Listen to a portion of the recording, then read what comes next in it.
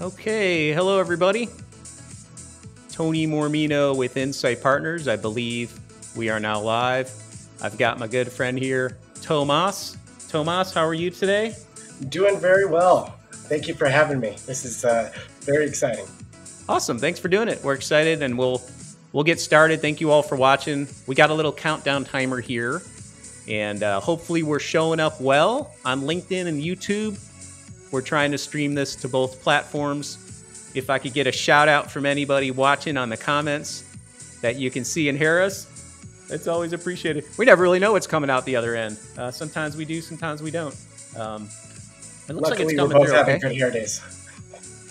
Exactly. Yeah. So, yeah, good hair days. That's important. So I'm in I'm in Asheville, uh, North Carolina, or right outside of Asheville. Thank you, Andrew. Andrew Dean says sounds good. Awesome. Um, I can see and hear you both. That's a good thing. Um, thank you very much for commenting. Nick Booker, we can hear you. We'd love to hear where you're from too. I love to see. Um, thank you, Kyle. Thank you, Tomas. Thank you, Mike.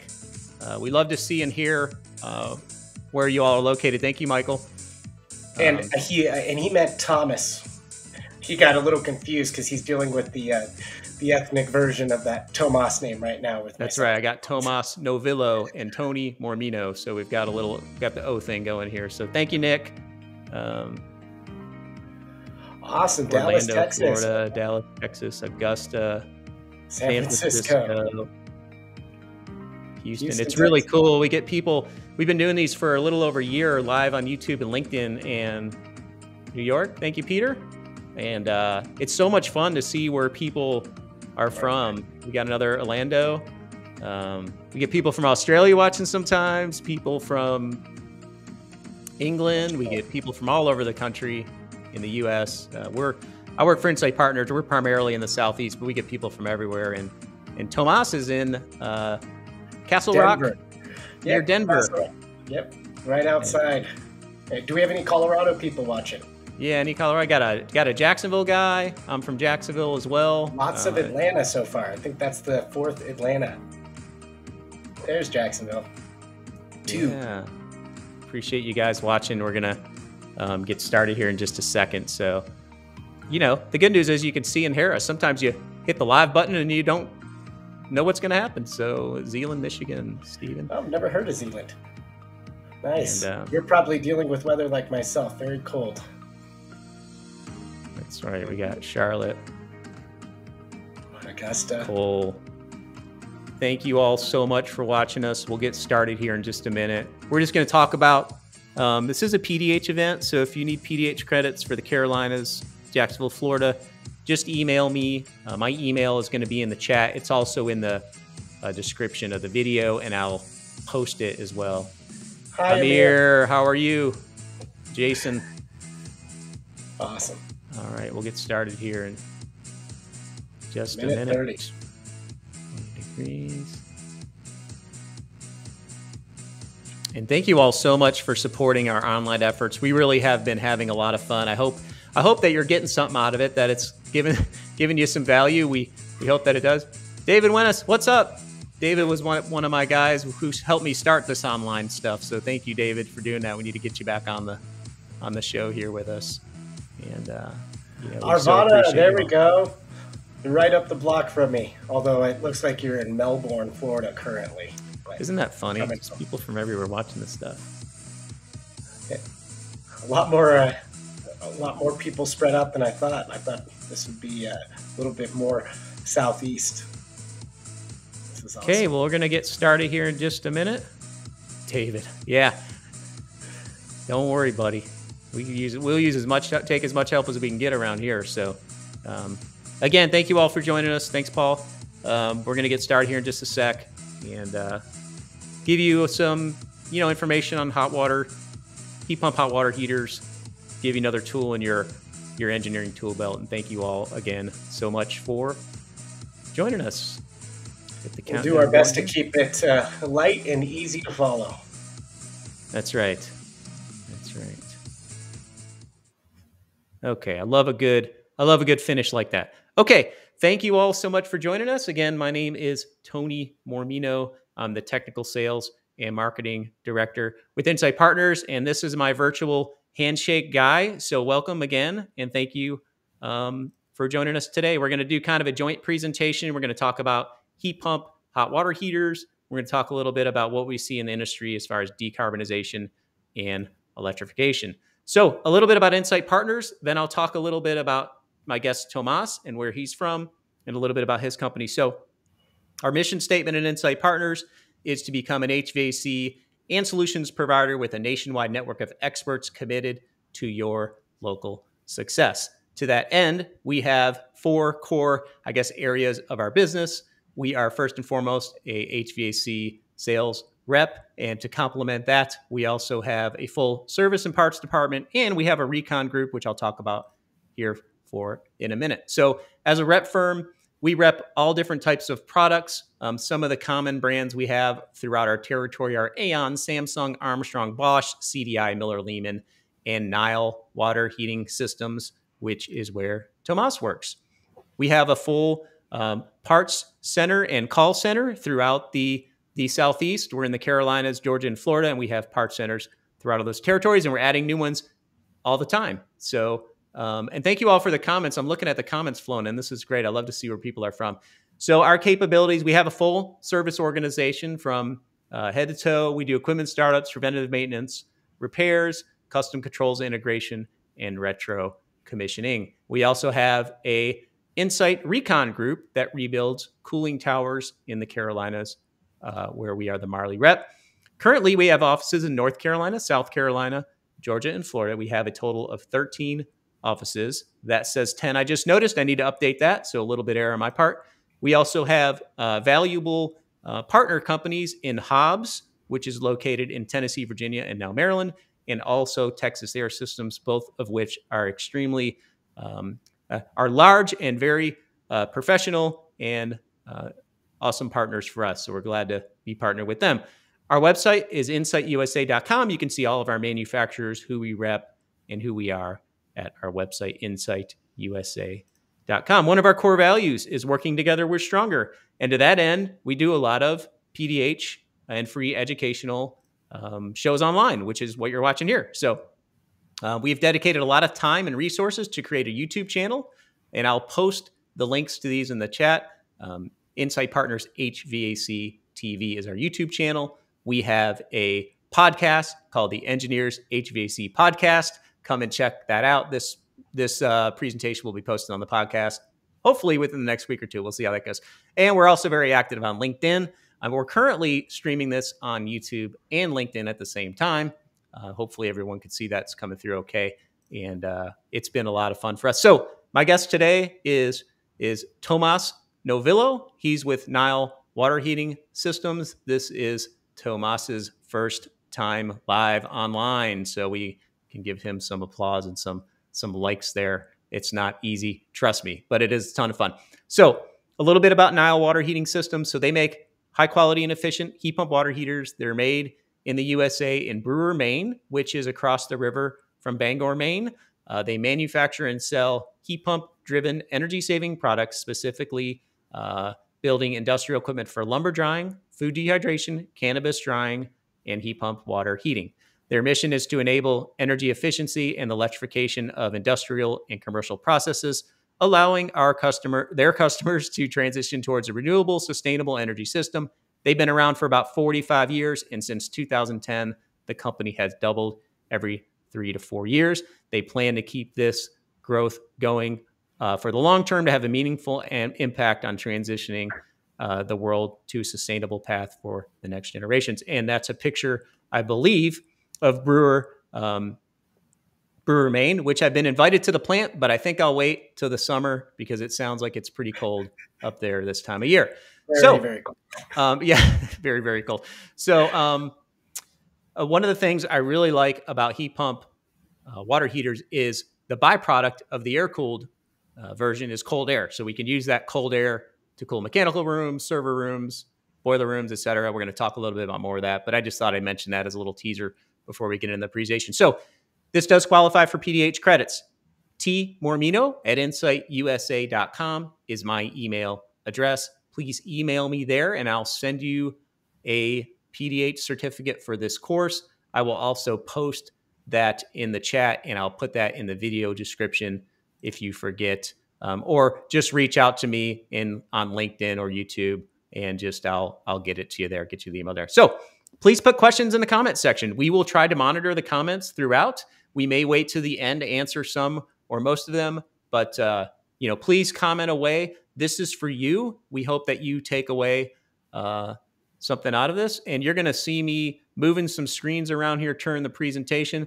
And again, this is kind of a joint uh, presentation effort. So Tomas is going to uh, start us off, and then I'm going to uh, throw my two cents in there as applicable. So, Tomas, please introduce yourself and let us know what we're going to hear about. Sounds good. So, just uh, as we get started here, I noticed uh, somebody uh, in the chat said they're having problems with the LinkedIn video keeps dropping audio.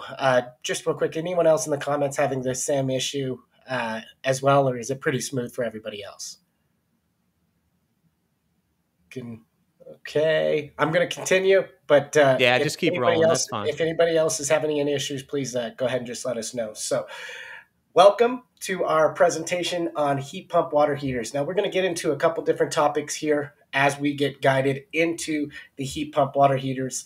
Uh, but I am excited to, to go over this with you. Uh, and who am I? I am a sales rep.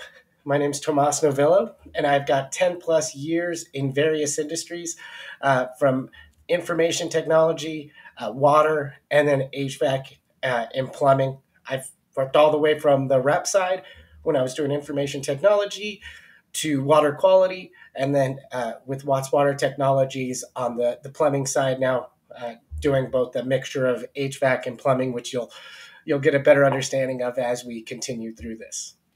So I am a director of strategic accounts with Nyle Water Heating Systems, and as Tony said before, we are a manufacturer of uh, several different uh, heating uh, water heaters from air source to water source. And then we did started in 1977 doing lumber kilns. And from that technology, we've moved all the way over to water heaters as well. And uh, in the last couple years, we've also knocked out a little bit in the cannabis drying systems as well. So today's agenda, we're going to be going through uh, decarbonization, electrification, and how uh, HVAC is going to fit within the new electrification world. And then, what exactly is a heat pump? And what types of heat pumps are out there? And what types of applications can you use a heat pump for? So let's get this kicked off. We're going to start chapter one with this decarbonization, and then we will move on to the other ones. So as we go along, you're going to see our nice little power station moving across and building. So, what is decarbonization? Well, it literally means to reduce carbon in the atmosphere. So, anything that is going to help reduce carbon emissions is considered decarbonization and how we can move forward with decarbonization. So, the long term goal is to create a CO2 free global economy. And how we get there is going to be difficult. So that's why I want everybody to take a take a breath, stop, and realize that we understand no matter what area you're in, there's different different things that people are doing to move uh, to help this movement go. So, yeah, and I'll just say I'll just break in here real quick, Tomas, and thank you again for being here. It's awesome. Um, so, you know, whenever we talk about these types of issues, decarbonization, electrification, a lot of there's a lot of feelings that come up. There's a lot of emotional, and there's a lot of uh, political um, attachment to these things. We're we're just merely reporting what we see in the industry. We're not taking a stance whether it makes sense, it's good, bad, or what have you. So, hey, Matt Tooley. Um, so we're just kind of reporting what we see. And again, the movement generally is to move away from fossil fuels and find uh, a different way to to create energy. And I'll turn it back over to you, Tomas. Thanks for letting me break in there. Thank you, Tony. And that's that's exactly right. Uh, you know, there's going to be varied opinions on this, especially depending on what parts of the country you're in. We're not here to, to debate those or go through them. We're here to just go over what we can do and how we can move forward. So why do we care in the HVAC and plumbing industry? Well, it's because we're burning a lot of fossil fuels currently in the HVAC industry, and a lot of the energy from the units that are created have a major impact on the fossil fuels burned in plants. So, we want to obviously give you a little bit of education on what areas within the country this matters in, and whether you're in California or Oregon or Washington, where the rules are very strict, or whether you're in Texas, Florida, uh, Tennessee, where the, the rules might not be, and you might not even hear it as often. But I think, as everybody on the call can agree, it's uh, definitely coming, and it is on its way throughout the entire country here. So it's uh, it's really dependent on where you are in the country as to how much you've actually learned or how much is actually going on in your area as far as uh, engineers, developers, and uh, contractors making it part of their basis of design to try to go electrified. So, Tomas, what I'm in North Carolina, and most of our, you know, most of our customers are in the southeast. Although there are people watching from all over the country. What do you and, and Tomas travels? He covers the whole country. So, what do you see in other parts of the country that are different than what you would see like in Florida? That's a that's an excellent question. So, in on the East Coast, places like New York City, you're starting to have building requirements to go electrified. Um, these requirements are also duplicated um, and have had a, a, head start over in California, Oregon, and Washington, where these rules have come in and they've actually put gas bans in certain areas of Washington. So you you're not even going to be using uh, gas fired uh, components in homes starting this year. Uh, California, they're starting uh, the green push at a much faster rate as well. They have requirements even what type of refrigerant that you're going to be using for these units. So these are rules that are coming on that side. Whereas if you go to North Carolina, Florida, it might be a just a hey we're we'd like to start going that way, but there's no government rules or regulations yet. So there's definitely um, definitely states where it's a much uh, much higher uh, uh, topic for them than it is in other areas? That's a great question. Got it. Thank you. Mm-hmm. I'm full of great questions, by the way. so, as we uh, continue here, we're going to go ahead and pass that decarbonization area, which is going to push us to electrification. Now, electrification is going to be is going to be the uh, the whole process of which we're going into. So electrifying, if the unit's an electric powered unit, that is an electric, uh, that is going electric. So that's electrification away from fossil fuels, um, which the goal of decarbonization is exactly that. It's to go electrified. So it's moving, the electrification term is to move everything from fossil fuels to renewables. So that being said, this is definitely not going to be easy because a lot of the power generated uh, is going to be still coming from coal plants. So there's a process in which we have to move a lot of that over to renewables. So hydro, uh, solar, wind, these types these types of renewables are going to be where we're moving to. So certain states you're already seeing those big uh, the big alternative energies like these wind farms here that you can see in this picture, solar farms generating in different parts of the country as well. That's the goal is to start moving everything to more electrification.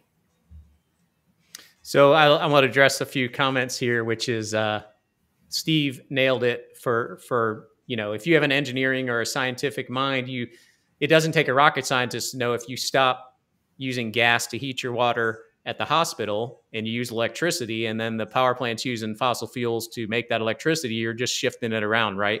Absolutely. I mean that's kind of the the problem with this thing. And again this is like something we reporting just saying here's what's happening whether it makes sense or not whether it's possible who knows you know? But this is like the way things seem to be moving the, the ultimate goal is to be free of fossil fuels and just have renewables which i think it would be great i don't know how practical that is or how possible that is in, in our lifetime but that's kind of what what what is driving all this stuff.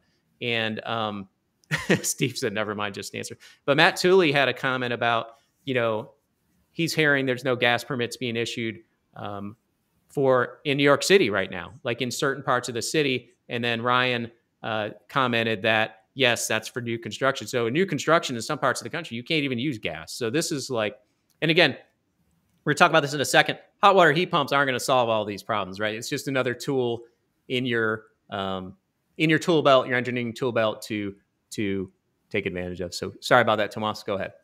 Oh no, fantastic! These these types of questions are exactly what we need. It's going to help us explain it to others who might have those same questions. So please keep those questions coming. All right. So as we move through, we're going to be passing through the decarbonization, electrification, and now we're on to chapter three. How is HVAC going to fit into electrification and the decarbonization world? And what steps are we making towards that? All right, I'll take this part. So, yes. thank you, Tomas. I'm going to do the next couple sections here. So, we've talked about decarbonization, which is ultimately getting away from fossil fuels, whether it's at the source. I, I call the source like the end user, the hospital, the school, the home, et cetera, which moves us more into electrification. So, if we're going to remove these gas heating products, we got to have some kind of power. So, that would be electrification. So, how do we fit into that in the HVAC world? So, that's what the next section is like. Why do we care? How do we address that? And you'll see we're on section three as we build our power grid. We're on section three of five, so you can kind of follow along and know where we are in the in the presentation. So, so as where are the opportunities in HVAC? Um, I will ask my questions. I ask myself questions like, you know, where do we burn fossil fuels at the building, um, and then where can we reduce fossil fuel emissions at the power plant with more efficient equipment. Those are kind of the two ways I see that we can help as, you know, I'm an HVAC rep, Tomas is a manufacturer. We've got engineers, contractors, owners, developers on on here watching this stuff and we'll watch it in the future.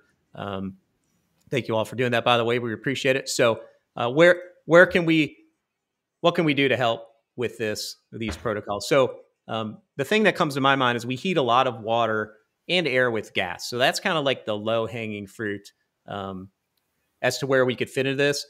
For this presentation, we're going to talk about heating water mostly, um, but air is another way we could apply heat pumps. So when we look at heating water, what if we're going to do it? We're going to take electricity to use to heat water. Then what's an efficient way to do that? Well, the most efficient way I know of is a is a hot water a heat pump water heater. You know, when you're not talking about renewables we're not talking about solar or anything like that. We're just talking about pure electricity to use to heat water. So um, heat pumps come to my mind. That's why we invited Tomas here. That's why we we rep their their stuff. Um, and again, this isn't a perfect solution. This isn't going to solve a, um, any major part of the problem, but it's another tool in the toolkit you can use if you have owners who want to move that route.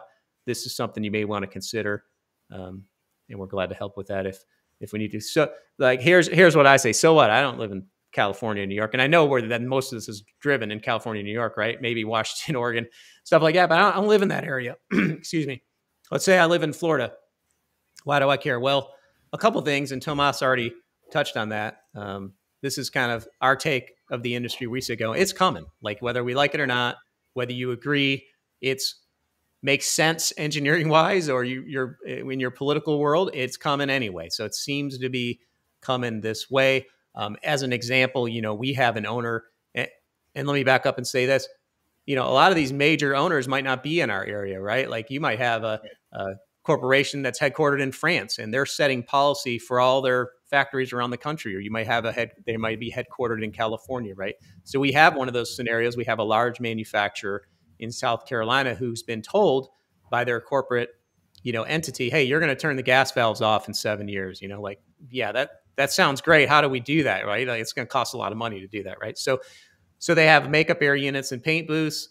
How do we heat that air um, without gas, right? Gas is a great way to do that. If we're going to remove the gas, maybe heat pump, hot water heaters will help with the hot water coil. That's something we're looking at. So that just I just show you that as an example of you know this stuff seems to be coming whether we whether we like it or not the other two things i really like about these types of products is you get a eh, when you're heating the water you get a bonus side effect like a, a byproduct and that is either cold air or cooled water so you're getting a benefit from that while you're making hot water you can cool air or cool water and use that as energy savings. So those are three kind of like my take is why you would care um, if you're not in a state that's mandating um, these these issues. So to recap, we talked about carbonization. I'm sorry, we talked about decarbonization, getting away from fossil fuels. We talked about the electrification process, how you know we talked. We didn't talk about much of the challenges, but man, you think about like if we're going to upgrade all the power grids, the power lines, the transformers, the power plants, we need more renewables, more of this. So that's a huge, colossal um, effort, in my in my humble opinion. Maybe smarter people could figure that out more than I can. I don't know. We talked a little bit about how HVAC, how this fits into the HVAC world we live in, and again, like heating water with gas. That's a sim. That's a one of the simpler things to look at using. You know, an electrified product like a heat pump um, on that, in my opinion. So the next section here, which is section four, and there's only five sections here. The last section is products and applications, which is a little bit longer. But we're getting through this pretty good. Thank you for all the comments. We're gonna um, we're gonna we're gonna address most of those at the end here. Uh, but please comment away. We will address them at the end, at the very least. So, um, all right. So heat pumps. So, what are heat pumps? Let's look at how a heat pump works, how they can be applied in making hot water, and then we'll actually look at some product installations, some examples, and some application um, issues. So, how does a heat pump work? So, when I'm talking about heat pumps with engineers or contractors or developers, I'm trying to like put it in a term that put it in a sense that they they can understand or they're familiar with, I should say. And the home is a good uh, everyone's familiar with that. Most homes, I don't know how many homes in the U.S. have split system heat pumps. If anybody knows and wants to chat, uh, that, that'd be great. I'm assuming it's a large percentage of homes have split system heat pump technology installed. So what happens here is in the summer months when it's hot, it's acting as an air conditioner, and in the winter months, it's acting as a heat pump. So here's basically the general way a typical heat pump works, and then we'll show you how that is used to heat water. So at your home, you have this outdoor unit right here, which is called typically called your condensing unit. There's a compressor and a, a coil in there. And then you have your indoor unit here, which is your indoor air handler. And obviously, this is a very basic, you know, diagram here just to show you. So what this heat pump is doing is you're actually cooling the outside air. So you have outside air here, let's say 40 to 60 degrees, whatever it is. It could be much colder than that. You're taking the heat out of that air by cooling it. So the air comes into here, and this coil in the heat pump mode is your evaporator coil. So it's actually making the air colder, comes out the top, blows out to the atmosphere. Now, you've removed heat from the outside air, and we're going to put that or pump that into the indoor coil. So the compressor through the refrigeration cycle transfers that energy to a coil inside the air handler, which is now your condenser coil, which blows blows hot air. So how this would work is, you know, in my in my house, we keep the heating on 66 to 70, depending on if my daughter's home, if I'm home, my wife's home, or whatever. So let's say it's 66 degrees. Um, 66 degree air would come in here.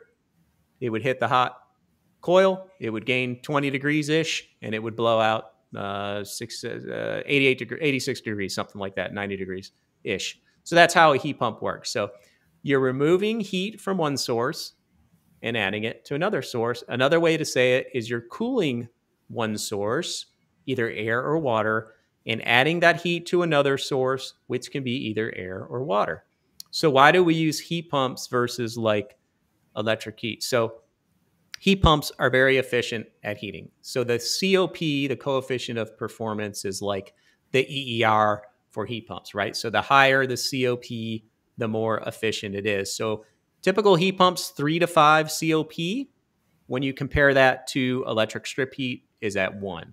So, you can see there's a three to five time, you know, efficiency gain from using heat pumps versus electric heat, that's a no brainer, right? So that's why a lot of homes have heat pumps installed. But we're here to talk about water. So I'm going to shift over to heating water. Um, but I wanted to show that because I think it's a good example to show people who aren't familiar with, with heat pumps exactly how they work. So let's apply the heat pump concept to heating water. So if you look at this refrigerant diagram, you basically have a compressor a condenser, a thermal expansion valve or TXV, and then you have your evaporator coil. Okay, the four the four types of components you have in any refrigeration cycle, right? From a water fountain to a 2,000 ton centrifugal chiller, they all have these four components. So in the heat pump hot water heater, the way this works is we're taking heat from this source, which is the warm air. We'll talk about what that could be. And through the refrigeration, through the compressor, we're shifting that heat over to the condenser and we're heating hot water. So we're moving the heat from the air, we're extracting the heat from the air, and we're putting that into the hot water. Is that a uh, double wall um, condenser there? Great question. we didn't plan. We didn't plan that at all. By the way. So yeah, that's a double wall. Thank you for reminding me to mention that. So the condenser, since you're using potable water, um, you have to have a double wall. Uh, in most cases, when you're doing when you're heating potable water, you have to have a double wall condenser because if you get a refrigerant leak, you don't want it to get into the get into the water that someone may be able to drink or or get on their body, et cetera. So very good question to Tomas. Definitely didn't have that previously set up.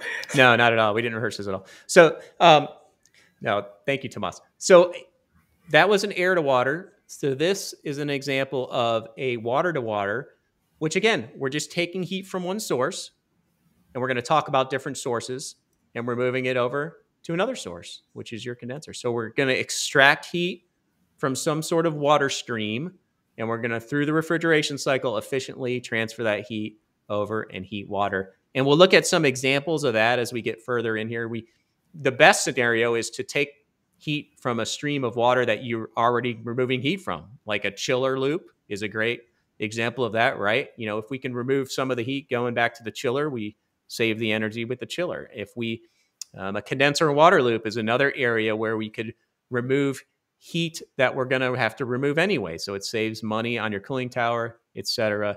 And we'll look a little bit more at that. And the gist of this is, um, you know, we're cooling one source, which is air or water, and adding that heat to another source, which is either air or water. That's kind of the gist of the heat pump situation. So, to recap, and I'm going to kick it over to Tomas here in a second, but I'll just recap here real quick as we move into the products and applications. And I hope you guys are enjoying this presentation. If you are, please please feel free to throw us some likes and some thumbs ups and some claps and some heart. Well, I don't know about hearts, but you know anything you anything you could throw us, we appreciate it. It it always makes us feel like you guys are getting something out of it. So decarbonization, talked about that, moving away from fossil fuels. Um, one way or the other. And we didn't really talk about nuclear, which is a whole other like, you know, probably, you know, the easiest to make this happen would be nuclear as far as from just an engineering science goes, but that's just my own two cents. Anyway, so electrification, putting more stuff on the electric grid, um, which has its its challenges, its complications, but that seems to be the way it's going. We talked about how HVAC um, could fit into this world, and you know, gas heating water is a uh, a good way to um, change to electrification simply. And we talked about how heat pumps work and now we're moving into section five as we complete the power grid and move into the final section. And please, again, comment any questions you have. And I'm going to go ahead and share your screen, Tomas, and kill my feed. And you are ready to go. Teach us up on some what these products look like and how we, they would be applied. So. Excellent. So we're actually going to be going through what types of uh, heat pump water heaters are out there and what types of applications can they support? So, as we go through, we're going to be looking at air to water heat pumps and how they work. So, as uh, Tony was explaining earlier, you've got to get energy from somewhere. So, with the air source units, you're actually going to be taking uh, heat from surrounding air, and that is going to be your driver to create hot water. Now, with these uh, heat pumps, you're generally going to get hot water up to 160 degrees Fahrenheit. You're going to be hitting that COP of up to 5.0, uh, and it's going to vary from unit to unit. Uh, the heating capacity um, on most heat pump water heaters is going to be anywhere from 25,000 BTUs to 250,000 BTUs. Um, and then, as we were talking about again earlier, what's that dual capability? Well, they're going to also be able to do cooling. So you're going to have a cooling capacity from 20,000 BTUs all the way to 220,000 BTUs. That's a significant amount there. And here's where we get into uh, the decarbonization, electrification part that we were talking about earlier uh, with the different types of um, coolants that are out there. So right now, uh, uh most units that are out are using R134A or uh, CO2, um, and there is a new refrigerant that a lot of units are putting in right now, and that is a R513A, which is a low GWP um, uh, coolant or refrigerant, sorry, that's out there. And uh, what GWP stands for is global warming potential. So it's going to hit those marks better as far as uh, uh, having less likely amounts of it to, to have an effect on uh, decarbonization. So it'll, uh, in effect, be more positive for the decarbonization movement as we move that direction. Um, so, as also as Tony mentioned, uh, we're, we're, talking about the refrigeration cycle. Um, all of these units are going to have a double wall condenser. That's for potable water heating. That's so that you can drink the water. There needs to be that double wall heat exchanger in there. Um, and then, go ahead. Sorry.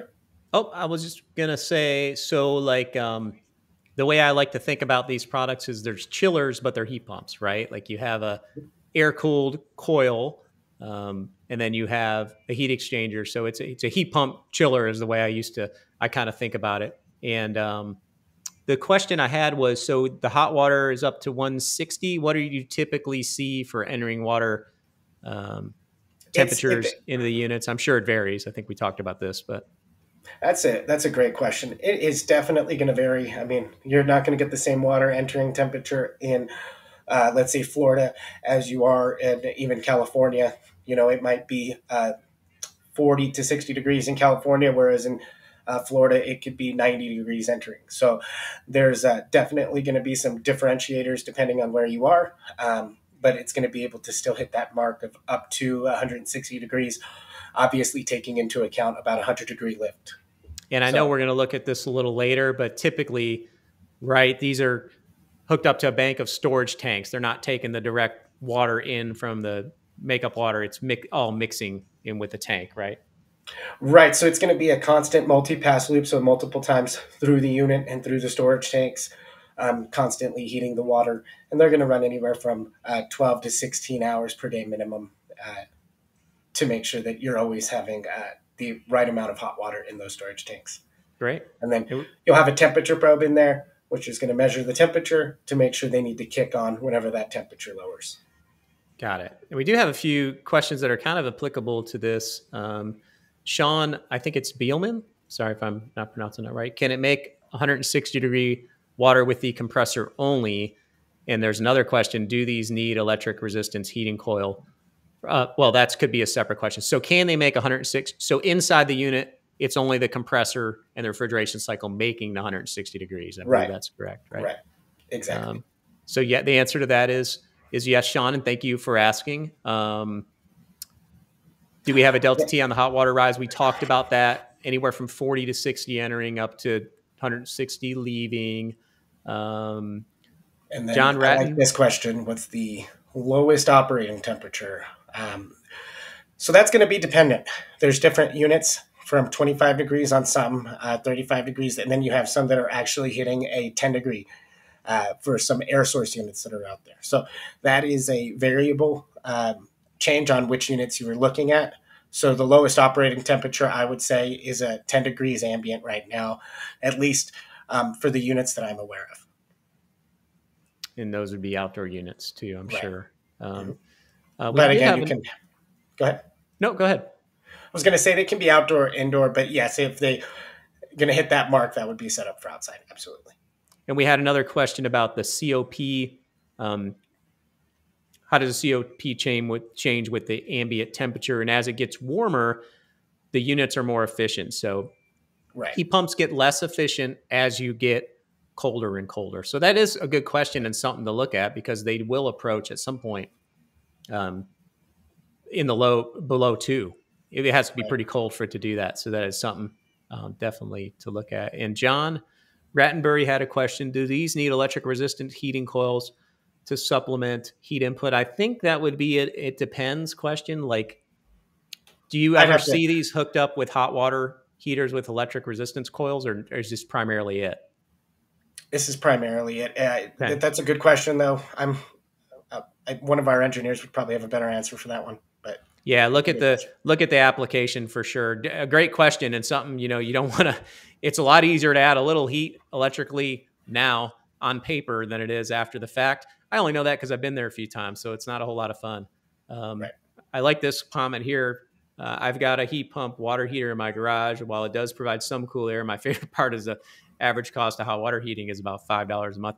I need to get one of these if it's only five dollars a month to heat the water. That sounds um, pretty good. But uh, okay, so let's see what else on your slide. Let's I'll kick it back over to the slide here. So uh, my favorite part of these products is you do get this cold air that you could do something with, and if when we talk about the water to water, which we will in a minute, you'll have a cooling effect of water that you can um, relieve the capacity off of other devices like a chiller or cooling tower. Um, we talked about the GWP, the double wall condenser. Uh, okay, so I think we're good on that slide. Perfect. All right, so now this is the. Um, oh, and actually, let me jump back. I'll I'll read what uh, Ryan Green said. He's my counterpart over there. He was able to answer uh, the question. He said electric resistance is only required if source temperature is expected to go below minimum ambient ca- capabilities. So definitely highly unlikely in Florida, and uh, most projects in California do not. So it, again, it's really dependent. I would say the Midwest areas, uh, colder climates, you might see that, but uh, not in those southern yeah. states. Good question. Thank Great you, Ryan. Question. By the way, thank you, thank you, Ryan Green. So this is a an illustration of the inside of the air source unit. Now, as you can see, we went through what the refrigeration cycle uh, looked like and how that works, and that's going to be the key components of how these function. So now, here's to, uh, to to put it to an actual visual for you. So you can see the compressor, you can see the evaporator, heat exchanger, and then um, you're also going to have that uh, therm- thermostatic uh, expansion valve that we showed you, uh, and then the uh, condenser heat exchanger right there on the bottom. So one of the things I do want to cover, the one differentiator between the air source and the water source is the, the condensate drain. You're not going to need a condensation drain if you're uh, doing water to water because you don't have that uh, condensation coming through uh, like you do when you're pulling in hot, humid air. You're going to have some condensation from that. So you do have a condensate drain. So when you're looking at the two units, that's going to be a big differentiator. And then you're also going to have a big size differentiator as well, because you have that massive evaporator on the air source units, whereas very small evaporator in comparison on our water source units. So that is what it looks like on the inside of an air source. And let's go ahead and take a look at what they're going to look like when we're doing some of the dual capabilities here. So this is what it's going to look like in a boiler room or mechanical type room when you are trying to have that added effect of cooling as well. So it's going to pull in that warm air, push out that cool air into that space. And you can see the storage tanks, like uh, Tony was talking about or earlier, where are we storing the hot water? It's going to be right next to it. So those are where the water is going to be getting put in and constantly cycled through to make sure that they're heated. I have a quick I have a quick comment yeah. on that, Tomas. Apologize. Um, so like when I first saw this, my thought was this basement or mechanical room would just keep getting colder and colder and colder, and there'd be condensation because this thing is running 24 7. And, and Tomas reminded me they don't run all the time, right? It's only running when you need um, hot water. So it's looking at the hot water tank. The cooling is just a byproduct of that. So 12 to 16 yeah. hours a day, maybe, you know, in some applications you're running. So you don't, you're not going to cool you know keep pumping cold air into that space at all times. So I thought that was worth mentioning, Tomas. And that's a that's a great point. I like to uh, I like to say that um, all the time is to let people know it is a byproduct. It is not the primary source of what these units are doing. Always, when we're talking about these dual capabilities, it's a byproduct. So, thank you, Tony, so much for clarifying that. That is an important uh, point. So same thing we were talking about earlier. You want to move air somewhere from these units. Well, let's say you want to push it somewhere that's a good distance away. Well, you conduct these in. And this application right here, there's several pictures of this exact application, uh, but this one is pushing all of that um, cool air actually outside. So it's going to be pushing it right by the garage door and pushing it outside of the space.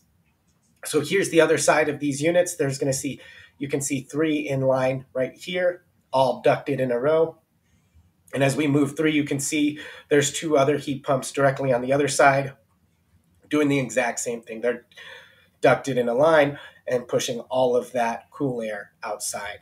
And this is what it's going to look like. Here's the vent pushing it outside. And as you can see, there's a gate there, but it's not a solid gate door. This is one that still has those vents, so it'll push all that air out of there. Tomas, can I make a comment real quick? Um, can you go back one slide? I just wanted to comment on um, from from an application standpoint. Like you see, these things are ducted. Okay, so you can duct this air to a server room, to another room, a battery room, or an IT room, or something like that. If you're going to do that, please keep in mind that this is the air that's going to blow is just a byproduct of the heating demand, the heating call. So you want, like, for example, if you're putting this cold air into a server room, you want to make sure there's another sensible device in there, like a ductless split system, that's actually monitoring the temperature and making sure it's staying at the temperature needed. Same thing with any room that's critical. Um, if you put it in a mechanical room, you might not care, right? So, but if you're putting it into, and don't put it into a room or comfort cooling's, because it's not going to be that. Um, uh, does it's not going to be that it's not going to control the cooling, right? It's just going to be a byproduct. So we had a question here: Does ducting require an additional fan? No, because you'll see on the next slide. I think on one of your next slides, you'll see the standard condenser. Go ahead and fast forward uh, one more slide right there. So your typical fan is a propeller type condenser fan, which is like on every condensing unit type product. Um, if it is going to be ducted, there is a ducted fan option. And that was shown in one of the previous slides when it showed the cutaway. It showed the centrifugal blower fan. So um, we have a different fan available when, or most manufacturers, if you're going to duct their product, they should have a different type of fan than a propeller fan, propeller fan exactly. in there. So uh, exactly. thank you thank for the questions, by the way. Very good.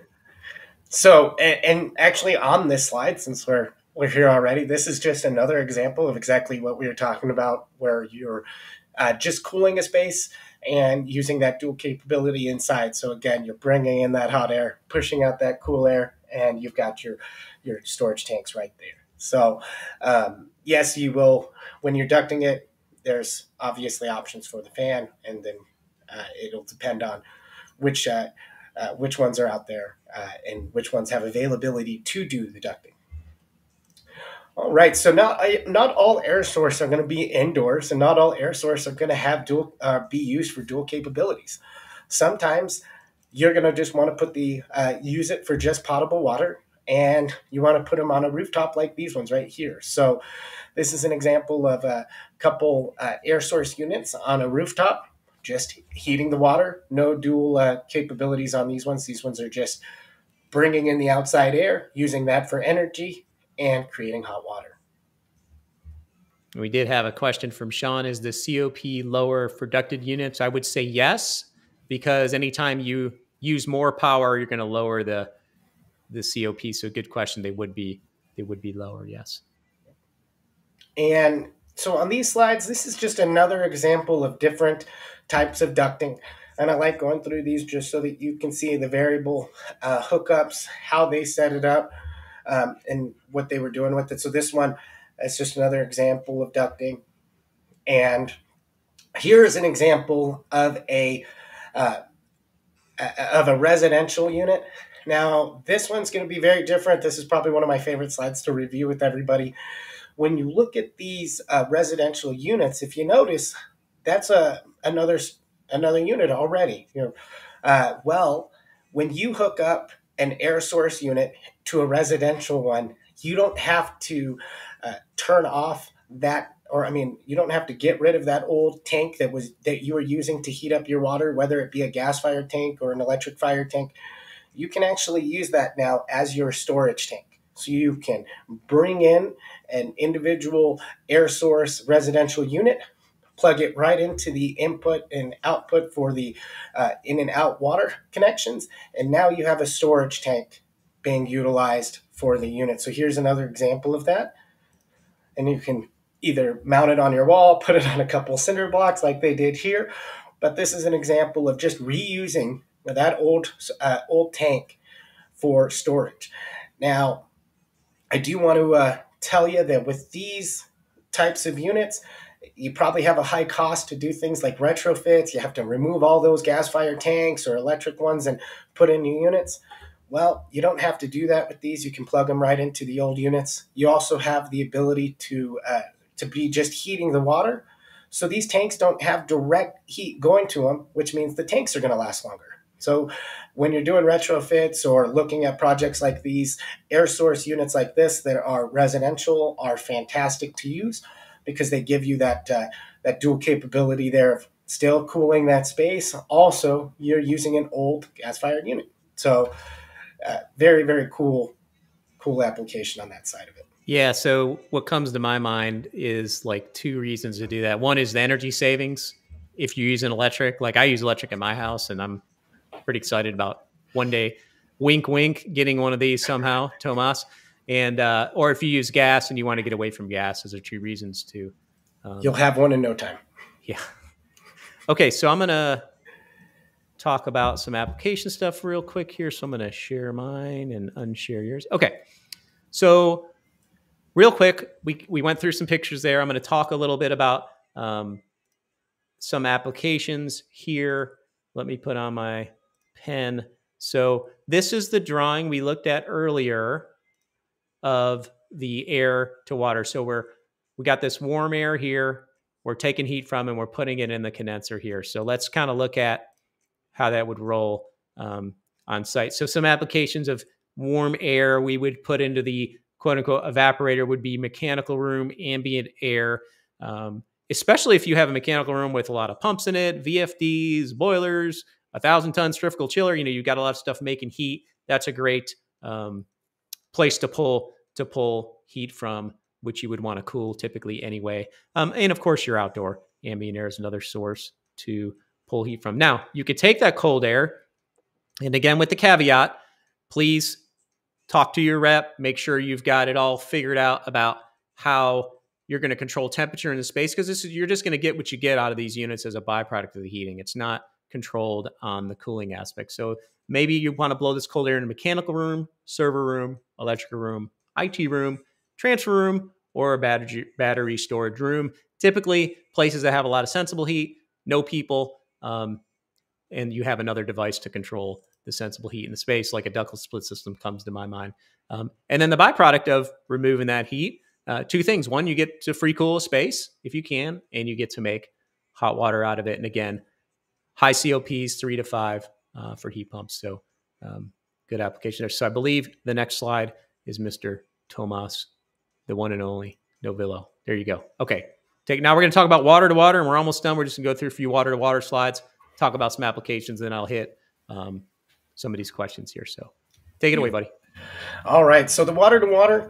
Now, as we went over before, the biggest difference is going to be that evaporator. So now you don't have to worry about having that massive evaporator. So you're going to be able to have it in a, a smaller size here. So as you can see with the water to water units, they're going to be absorbing water from heat. They're going to be absorbing heat from waste streams. So just like you brought in that hot air to create energy, you're going to be bringing in uh, water from other sources, whether it be a condensed water loop, geothermal. You're going to be using that to uh, to now create the energy to heat the water. So a lot of these marks that I'm going to be showing here within this slide, as you notice, I'm going to be going through them. They are exactly like the air source as far as the, the capacity, um, heating capacity, the COP, what the water goes up to. Cooling capacity is going to be the same range as well. And then uh, the refrigerant. Now that's going to use the same R134A or it's going to be able to use the R513A low GWP refrigerant. There are CO2 uh, heaters out there as well, so th- those uh, units are available in the market. So all of these units are going to be using double wall condensers, as we said before, because you're doing it for potable water. So definitely, definitely going to need that. Uh, Tomas, this, I'll break in here with a quick question. Um, yeah. Because we had this in the chat, and you're talking about does it, do you ever have a scenario where the evaporator is double wall as well as the condenser? That's a great question. So our evaporators are just single wall. You don't need it because they're going to circulate through that compressor, and then it's still going to hit that double wall before you have the water output. So um, the that, I really like that question. Not necessarily with our units. You're not you know see that on our side. I can't really speak to others what they might have. Um, you could always use a you could always use a um, another heat exchanger in the loop there as well. It's like an Alfa Laval right. or something like that. So if you exactly. if that's a concern, you could always separate that with another heat exchanger. So exactly. Um, okay. Beautiful. Thank you, Tomas. So I'm going to show you again. Here's the internals of the water source. Very similar as far as the components on the inside as we were looking at with the air source. Biggest difference is now you have that hot water coming in um, and uh, source water coming in, source water out. So this is what, where you're going to be having that energy come in to create the hot water. So everything else very similar evaporator, condenser, uh, and then you have the compressor down there as well. So very similar bones to this one as the other one. All right, so this is a picture of a couple water modular units. Now these ones um, have a higher capacity going all the way up to 2 million BTU hours with these ones if you stack them side by side. So water modular units also uh, very good applications with those. Uh, now here's what you're looking at with the when you're doing recovery, heat recovery with some of the units. So this is an actual example of what that's going to look like. You can see the water return, and you can see where it's pushing that hot water as well. And also, you might say, well, those look a lot smaller. That's what I was talking about. These units are definitely smaller than the air source ones because we don't have that big evaporator in there. So I believe that was a chill water loop. We were yep. Cooling exactly. before. So we we, t- we typically do there. We'll talk about this at the last slide, but typically what we're doing there is like a side stream. We're pulling some of the 55 degree water you would normally send to the chiller. We're cooling that, removing heat and, and heating water with it. So typical heat recovery application. Exactly. All right, now you can see this beautiful copper piping hooking up these water modular units as well. This is just a nice example of them being able to fit uh, real nicely side by side and you're getting max BTUs out of these bad boys, and they're not that uh, big in comparison to those air source units. And uh, if you're looking at that water water side, definitely a fantastic uh, solution here to save space and still get uh, max BTUs for that. And then obviously still have the uh, the ability to do the uh, condenser water loop, geothermal loops, other other ancillary things like that. So very cool. All right, and I think this is where Tony takes back over, and I'm gonna okay. kick it over to him.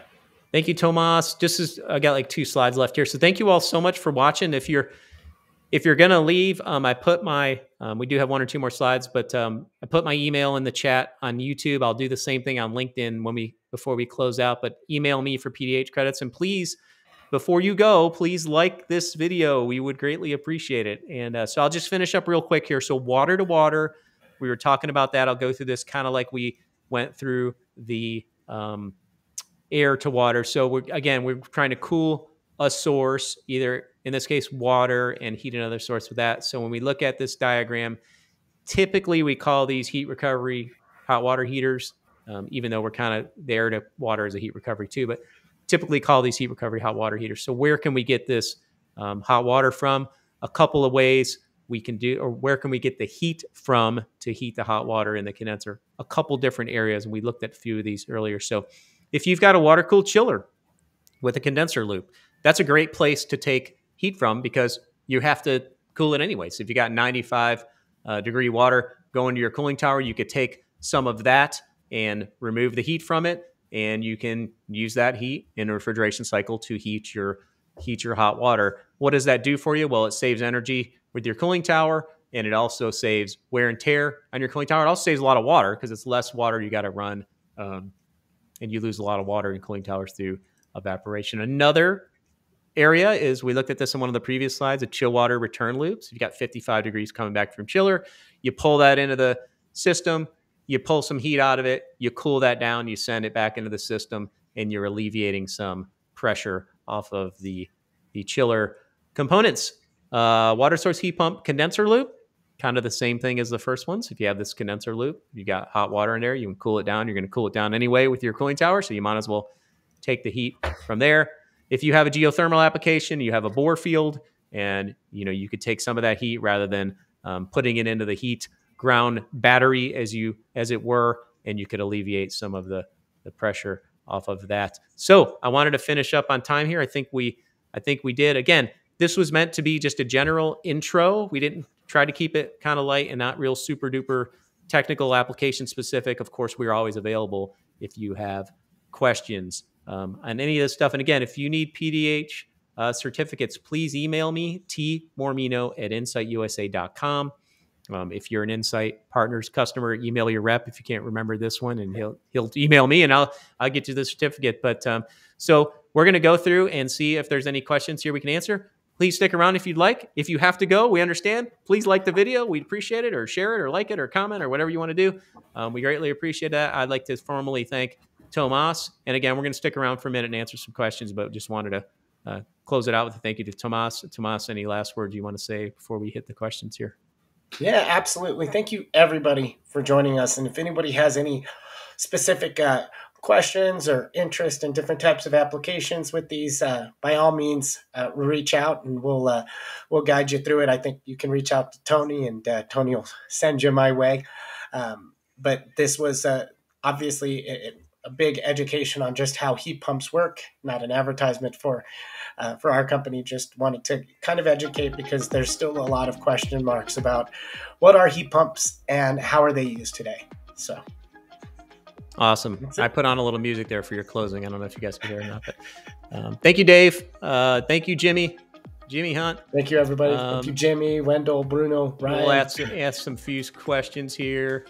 Um, I'm going to go back up. I think we may have missed a couple, but um, I think we have Aaron Flack answering these, who's uh, my counterpart, and Ryan Green is answering them as well. So thank you, oh, uh, that's awesome. Both Ryan Green and Aaron Flack for answering these YouTube questions. You guys are fantastic. I thank you so much. Appreciate it.